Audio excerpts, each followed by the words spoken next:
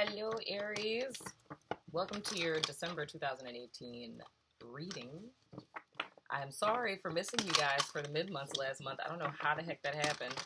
Y'all were supposed to be the second video that I did, and somehow, some way, I missed you guys. So my apologies. And that is why you were first.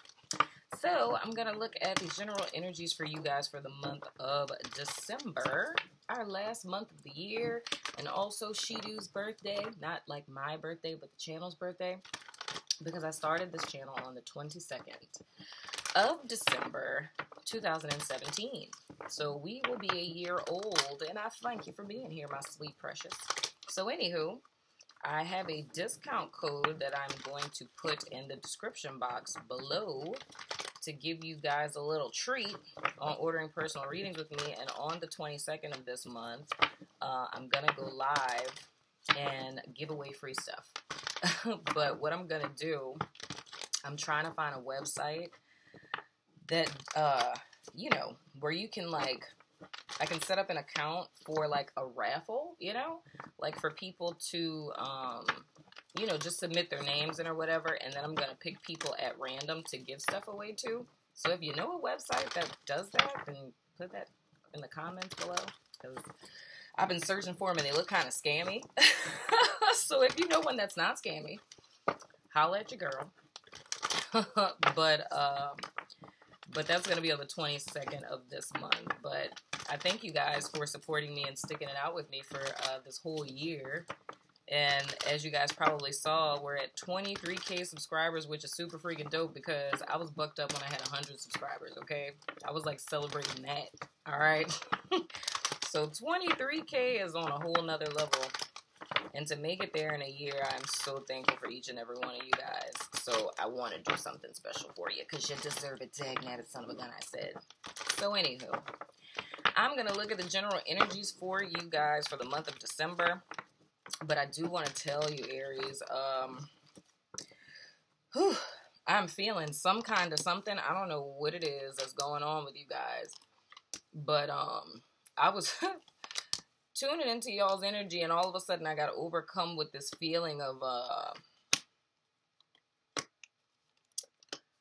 like nervous energy, pent up emotion, feeling kind of like insecure and unsure of myself and something of the sort, but then like kind of irritated. So almost as if all of this stuff is a byproduct of something that I'm feeling, but I'm not saying anything about it, you know? And it's a very unsettling feeling. It has me feeling all shaky and stuff. So we're going to tune in and see what's going on here. And please don't judge my nail because it popped off and it looks really ratchet. So, you know, Love me anyway. So first card we have for you guys is the first chakra. Then we have yin and yang. Then we have community. Then we have goddess of the moon. Then we have the angel of love in reverse. Financial constraints. The second chakra. Yikes, the third chakra. And then happy family. Okie dokie, lemon chokey. Okay, so you guys are being triggered. Whatever it is you're dealing with, uh, you guys are being triggered. And it's triggering an old wound, right? And it's an old wound that is nine times out of ten family related. You know what I'm saying? Um it's like you have a stable family life, possibly, whether that's if you have your own family or your family, like mom, dad, brother, sister type of deal. You know what I'm saying? But I feel like it's a, a new family, which is either, you know, your uh your family like husband wife you know baby mama baby daddy whatever your new family. And it's like being triggered here and it's related to your family of origin you know what i'm saying? But uh it's more or less like it or it could even be your friend group to be quite honest. It's like whoever it is that you're interacting with right now um you're desiring one thing or it could be that there's nothing wrong here. It's just there's something that's kind of triggering you that's relating back to uh past wounds that are intricately related to your self-worth self-love self-confidence type of deal and I feel like all of this is messing you up in a sense of like creativity or being able to produce the life that you want, whether that's in a material sense, a financial sense, if it's in creative projects or what have you, right? But the whole basis of what's going on here, because it's like I'm kind of giving you like the framework of what's happening, but the basis of the issue is like a lack of self confidence or self worth or self love, right? That's intricately related to, uh, you know, what I say about root chakra stuff. Core beliefs, childhood issues, self concept, things of the sort. And with there being issues with the root chakra, it's a level of insecurity. And, you know, I, I always say, not, you know, I don't think I'm pretty, insecurity, but just in totality, not feeling safe, right? Not feeling equipped or able to provide um, a life for yourself. Um, or stability for yourself or a foundation or so like say if this is a person that's like in a family situation like say if it's a man that is you know husband has kids and stuff it's like not feeling good enough to be the provider for the family. Now, that may not necessarily be true, right? But it's a self perception that's causing conflict in your life right now. And I feel that it's mostly because because I see you're surrounded by people that are supportive of you, but it's like you're not saying anything. So it's almost like it's an internal struggle that you're going through. But a, a huge part of that has a lot to do with the fact that it's like there's been a shift that's happened in your life. And it's imperative for you to deal with this. So I feel like the reason why this is being triggered is because you're going into a new cycle and it's more or less it's time for you to step into like your calling, right? Like what it is that you feel spiritually led to do. But your lack of confidence in yourself is blocking you from that. But I'm seeing in so many ways, it's like, it's almost like you're undermining yourself, if that makes sense because it's like this portal has opened, the energy is there, right? And spirit is in support of this. So it's like you have intuitive abilities, you have spiritual gifts. You know what I'm saying? And it's like you're creating or have the ability to create from a pure, authentic place. And that's what your focus should be right now, right?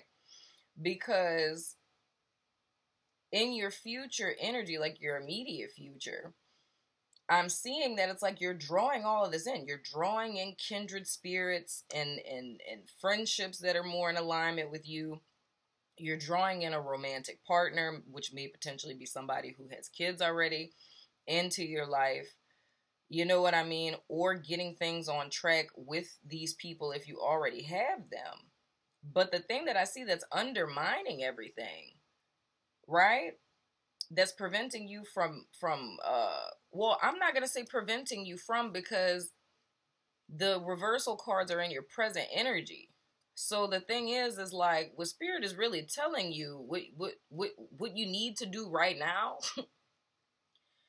is if you had any type of unction or thought that you were being called to go in the direction of this spiritual path, like uh, starting a spiritual business or going to take spiritual classes or what have you, like anything that you felt led to do, now is the time to do that. but I feel like Spirit's bringing to the attention the whole thing that could be your great undoing or the thing that has always caused you to have financial problems is your lack of belief in yourself. So, in, in this lack of belief in self that stunts your creativity and prevents you from creating the life that you want materially, financially, or in accordance with the type of people that you want in your life or manifesting the relationship that you really want, all of that is intricately related to this, right? So it's that that uh that insecurity on a deep level of the fact of and and that's where I say it's like the the feeling that I'm feeling like I feel very ungrounded like it's almost like a uh it's an unsettling feeling for me. It's almost like feeling like I fell behind on my student loans or something. Like that's that's what I feel right now. Like that's literally what the emotion feels like it's like being scared but not like terrified like i'm in fear for my life. It's not that it's like it's like dog that's so much interest that's piling up on them loans that i ain't paid in three months. That's like what it feels like you know what i'm saying? Or like your car about to get repossessed or something. And it's like it's a feeling right here in my belly right? And that's where your um your solar plexus chakra is. And and that's the card that's in reverse. You know what I'm saying? And this is like this is where your energy from your root and from your sacral. I say this is kind of like the volcano chakra, right?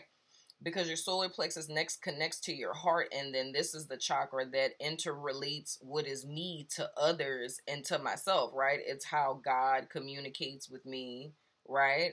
You know what I'm saying? And I'm grounding that energy so that I can manifest it into the physical realm or what it is that spirit gives to me and it hits my heart chakra and I'm giving that to others. You know what I'm saying? It's like that connecting factor, but this is blocked. You know? And it's like that's where I feel all of this energy at. And and whenever you have like um an underactive solar plexus, that's where those feelings of insecurity and stuff come from is like I don't feel sure of myself. I don't know if I can do this. But like I said, all of this is intricately related to this. It's that instability from back then. Like if we look at it like Maslow's hierarchy of needs, Google that. Look at what Maslow's hierarchy of needs deals with. That's all based in um in our uh like our survival needs, right? So this is whenever like in childhood, because y'all know I was going to say it.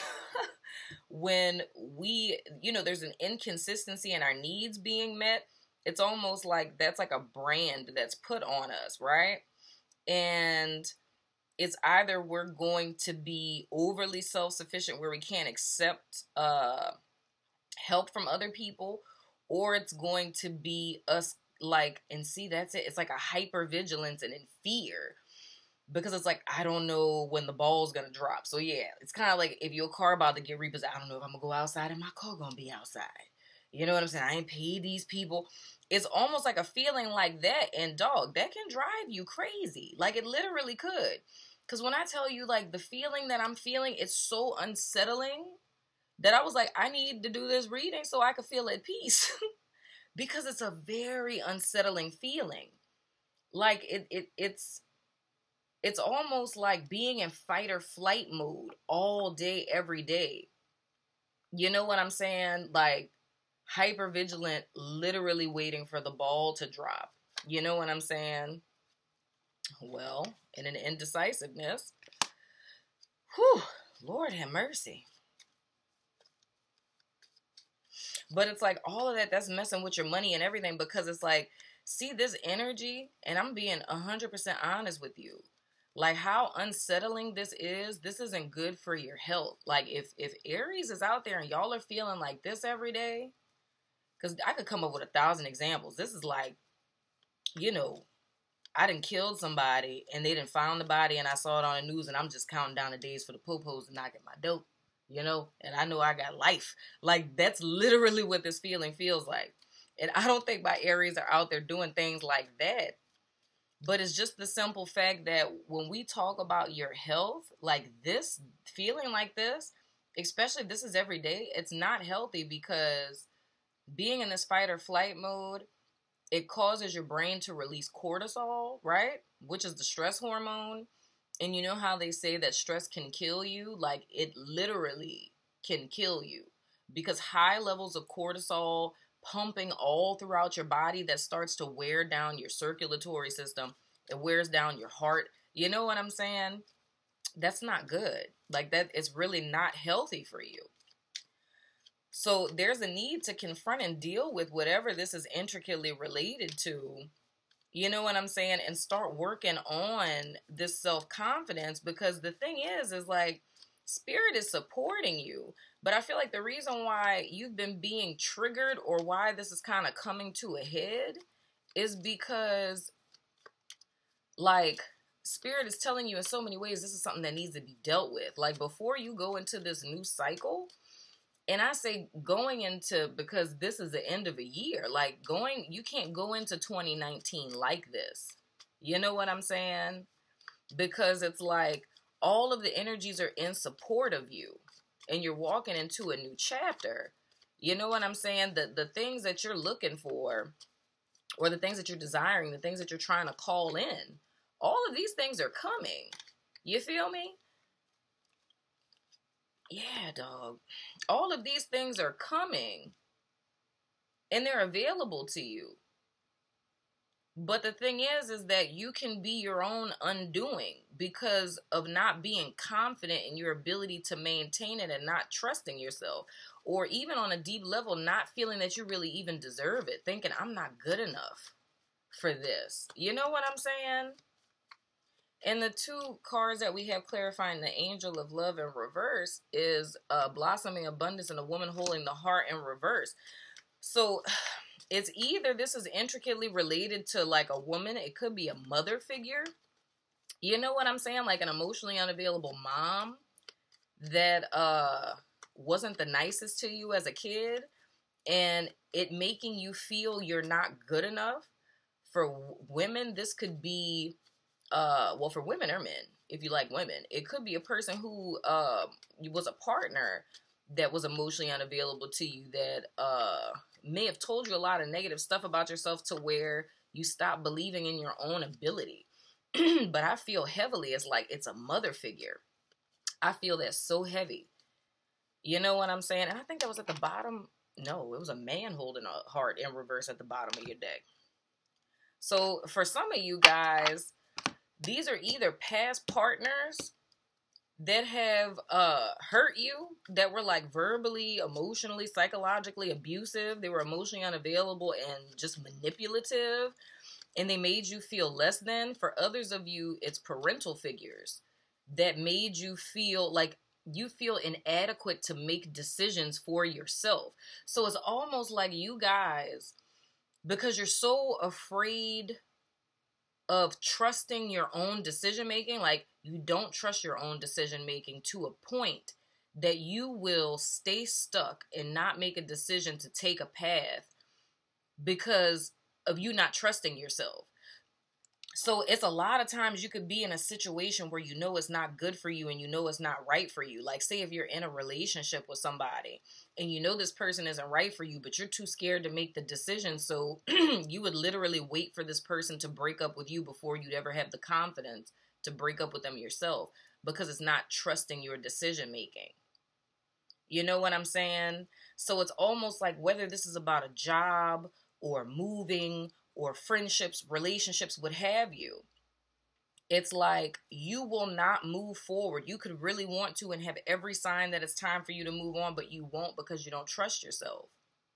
So it's easier for me to just, and I wouldn't even say easier, dog, because like I said, what I'm feeling inside of me, like I could not fathom existing in this every day because it's unsettling for me just for this little amount of time prior to me doing your reading, while doing your reading. And I know that once I get this message from spirit out to you, the feeling is going to leave me. But that's not good enough for me. That's not okay for me that you guys are existing like this every day. That's not cool, like at all. because I mean, my heart is beating out of my chest. And I just could not fathom existing in this every day because this will take a toll on you.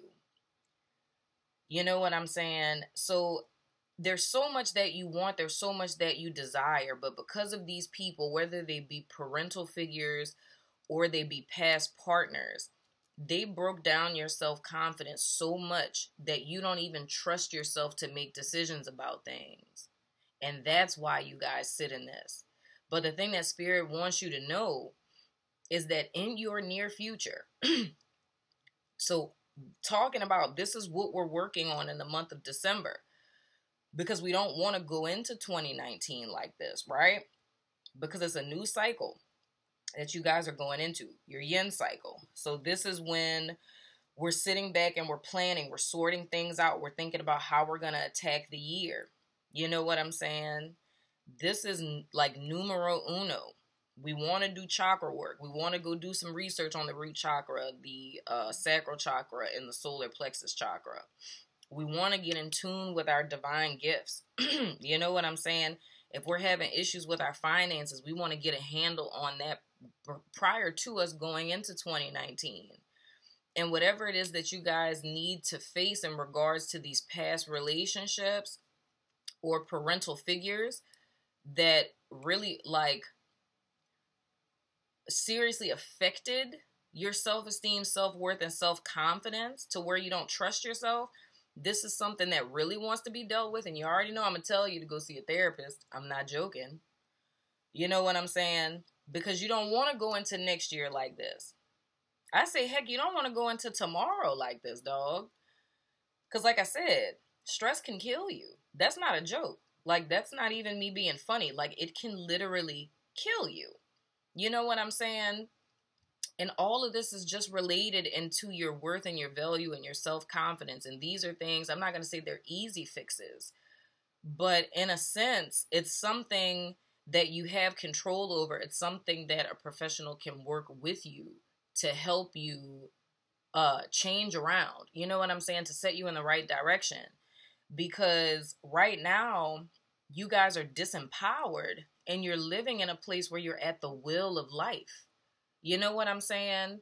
It's like you only move when everybody else says move, and that's not fair because you're not really living. It's like you're living your life at the will of other people. And come on, Aries, I'm my North Node is in Aries. You know, Dag nabbit.